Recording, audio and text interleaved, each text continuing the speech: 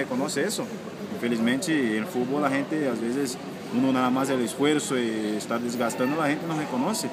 Es eso que, que también me duele un poco porque yo a veces estoy luchando por el equipo, pero me gustaría también que ciertas personas, ve, por las ciertas personas puedan ver eso también y ver que yo también muchas veces no puedo demostrar la calidad por la pelea también que yo tengo ahí adelante, porque uno peleando a cada rato no es todo el tiempo que usted puede hacer las jugadas que uno desea hacerlas. Anderson, usted habla de sacrificio y parece que así se ve en la cancha. Eh, ¿Cómo, ¿Cómo, se siente usted realmente? O sea, ¿se siente como, como ese punta de la liga o usted se sentiría más cómodo en otra posición, como por ejemplo jugaba anteriormente en el Herediano? No, y la verdad es que a mí me gusta jugar como punta. El problema es que a veces uno se queda como solo, solo ahí adelante. Entonces eso es complicado. Pero, ¿Le gustaría tener un socio en punta de ataque?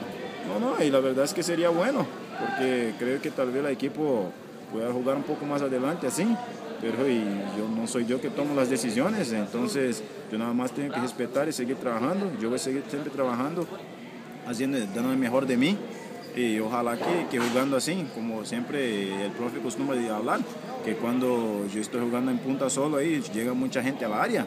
Entonces, ojalá que las cosas empiecen a salir para nosotros y, y podamos así llegar con más gente a la área porque ocupamos empezar ahora a pensar en los otros partidos y ganar porque como tuvimos ese empate aquí contra Tigres, ahí tenemos que ir allá todo. ¿eh? O sea, tácticamente su trabajo en la liga es jugar solo arriba, desgastar a los defensores, que los volantes pisen más en Eso es lo que usted le pide Oscar Ramírez. Sí, sí, eh, eso que el profe acostumbra trabajar, que uno ahí haga el trabajo de desgastar más al, al equipo contrario, uno esté movimentando, buscando, saliendo y chocando, ¿ah?